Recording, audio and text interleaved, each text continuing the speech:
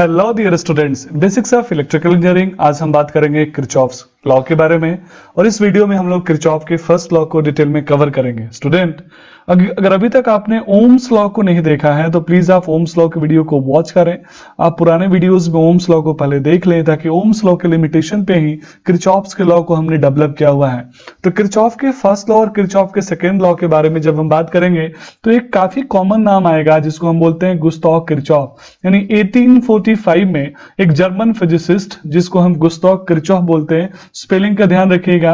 K I R C double H O double F जिसने दो laws बनाए थे और उन दोनों लॉ को हम किरचॉप्स का लॉ बोलते हैं.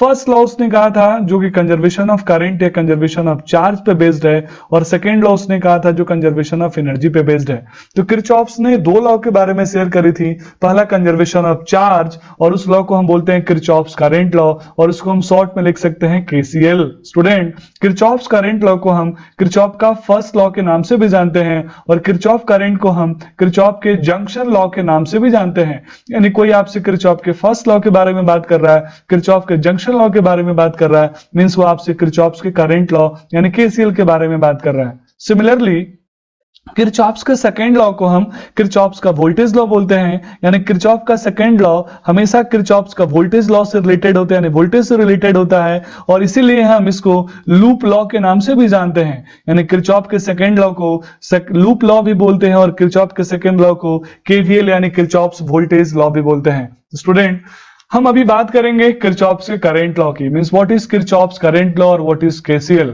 तो पहला स्टेटमेंट जो हम डिस्कस करने जा रहे हैं, वो है कि the algebraic sum of current at node और जंक्शन इज़ ज़ीरो अब नोड और जंक्शन क्या होता है, अगर आपको नहीं पता तो प्लीज़ आप पुराने वीडियो को जाके डिटेल में देखिए, जिसमें और नोड और जंक्शन के बारे में काफ़ी डिटेल में मैंने बात करी है।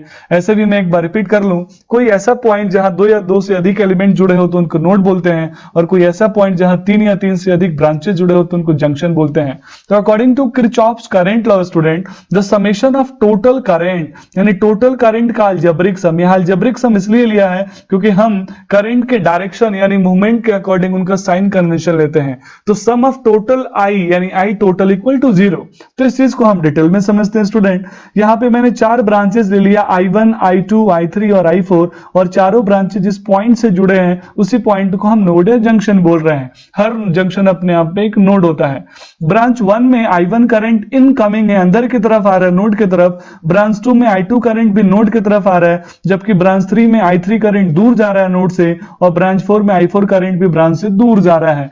तो मैंने एक साइन कन्वेंशन ले लिया, मैंने मान लिया इनकमिंग करंट को मैं पॉजिटिव लूँगा, और आउट गोइंग करंट को उसका अपोजिट यानी नेगेटिव लूँगा। अगर आप इसको चेंज करना चाहते हैं तो कोई प्रॉब्लम नहीं है।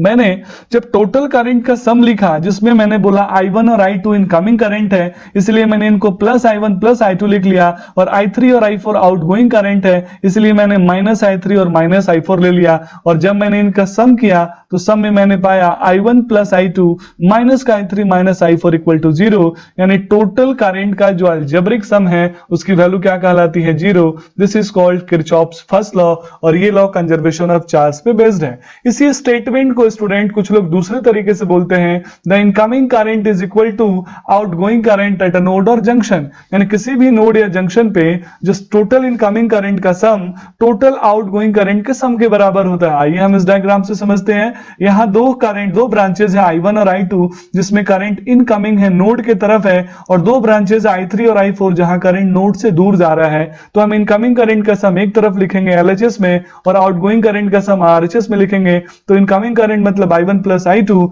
और आउट गोइंग करंट मतलब I three plus I four मैं ऑलरेडी इनकमिंग को पॉजिटिव मान चुका हूँ आउट गोइंग को नेगेटिव मान चुका हूँ, लेकिन यहाँ पे हम LHS और RHS में लिख रहे हैं तो साइन नहीं है, इसलिए हम यहाँ पे अल्जेब्रिक सम कुछ भी नहीं बोले हैं।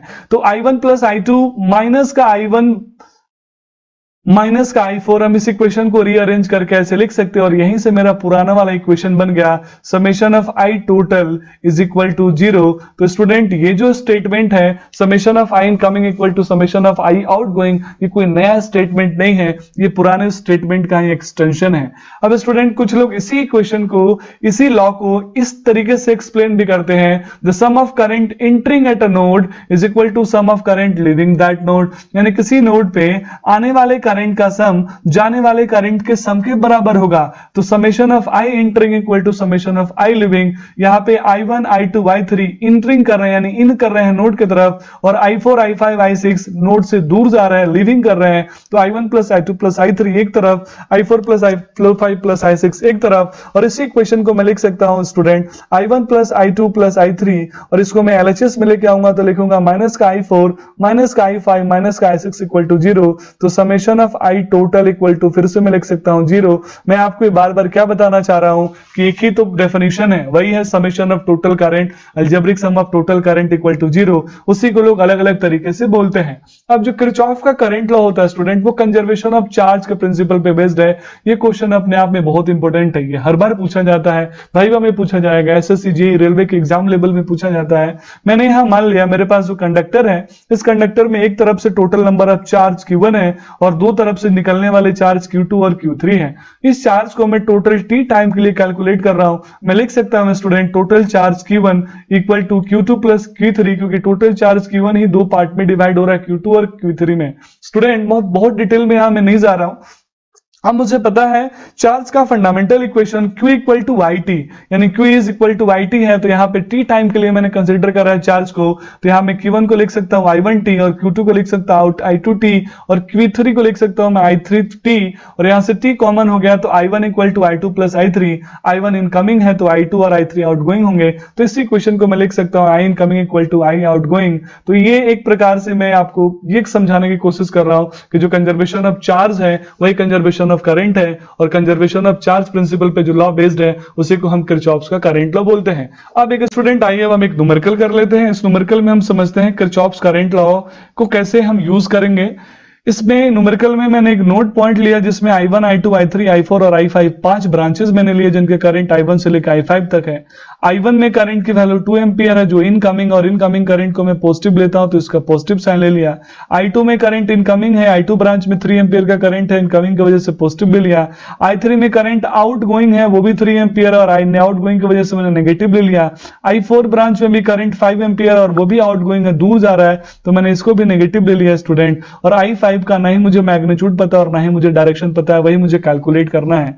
तो according to Kirchhoff's current law summation of I total equal to zero student तो मैं इसको लिख सकता हूँ टोटल करंट का सम यानी I one plus I two plus I three plus I four plus I five अब मैंने यहाँ कन्वेंशन नहीं लिया है, इसीलिए मैंने डायरेक्ट लिख दिया इक्वल टू ज़ीरो अब इसकी जब वैल्यूज़ में पुट कर रहा हूँ आई वन मैंने पॉजिटिव लिया तो प्लस टू आई थ्री मैंने पॉजिटिव लिया क्योंकि इनकमिंग है तो प्लस थ्री लेकिन आई थ्री की वैल्यू थ्री एम्पियर है लेकिन नेगेटिव है क्योंकि आउट गोइंग है तो मैंने लिख दिया प्लस का माइनस थ्री उसी तरीके से आई फोर आउट गोइंग है इसलिए नेगेटिव है तो मैंने लिख दिया माइनस प्लस का minus I five I four जबकि आई फाइव मुझे नहीं पता तो मैंने लिख दिया प्लस का I five equal to zero तो यहाँ से स्टूडेंट जब हम सॉल्व करेंगे two plus three equal to five और five plus three equal to minus का एट तो ये माइनस एट हो गया, ये फाइव हो गया तो फाइव माइनस एट यानी माइनस थ्री और प्लस का I five equal to zero तो यहाँ से इक्वेशन को मैं लिख सकता हूँ I three equal to I five equal to plus का थ्री एम्पियर क्योंकि एच एस में जाएगा तो यहाँ प्लस में हो जाएगा। अब इस आई फाइव के प्लस थ्री एम्पियर से हमें क्या समझ में आता है स्टूडेंट आई फाइव के प्लस थ्री एम्पियर से हमें समझ में आ रहा है कि फाइव में थ्री एम्पियर की मैग्नीट्यूड होगी यानी करेंट का डायरेक्शन मैग्नीट्यूड थ्री एम्पियर हो गया और प्लस होने की वजह से इसका डायरेक्शन इनकमिंग होगा, क्योंकि इनकमिंग को हमने क्या मानकर रखा है? प्लस तो एक बार फिर से क्रॉस वेरीफाई हम लोग कर लेते हैं स्टूडेंट क्रॉस वेरीफाई में हमने देखा कि आई थ्री का वैल्यू थ्री एम्पियर था और इनकमिंग था तो इनकमिंग करंट का सम यानी three plus two five five plus three यानी eight ampere outgoing current के सम के बराबर होना चाहिए। दो आउट गोइंग है तो five plus three equal to eight ampere दोनों करंट का सम बराबर है, यानी हमारा न्यूमेरिकल सही है। तो स्टूडेंट लास्ट में एक मज़ेदार ट्रिक हम लोग समझ लेते हैं, जिसमें आपका एक इंपॉर्टेंट क्वेश्चन कवर हो जाएगा। आपसे पूछा जाएगा Kirchhoff's current law is based on conservation of charge और कंजर्वेशन ऑफ़ एनर्जी यानी क्रिचॉप्स का करेंट लॉ किस पे बेस्ड होता है? कंजर्वेशन ऑफ़ चार्ज पे बेस्ड होता है कंजर्वेशन ऑफ़ एनर्जी पे बेस्ड होता है। तो स्टूडेंट मेरे पास दो ही तो लॉ है, या तो केसीएल होगा या फिर केवीएल होगा। तो एक का ट्रिक में समझाया तो दूसरा अपने आप साफ़ समझ जाइएगा केसीएल में तीन अल्फ़ाबेट है के सी एल और चार्ज का पहला जो लेटर है वो है सी तो किरचॉप्स का करंट लॉ किससे रिलेटेड होगा? चार्ज से। सिंपल सा ट्रिक है, आप कभी भूलिएगा नहीं। केसीएल में सी चार्ज में पहला लेटर सी तो सी से सी और बचा केवीएल और दूसरा बचा एनर्जी तो स्वाभाविक है केवीएल एनर्जी से रिलेटेड होगा। यानी किरचॉप्स का करंट लॉ चार्ज से रिलेटेड होगा किरचॉप्स का वोल्टेज लॉ एनर्जी से रिलेटेड होगा।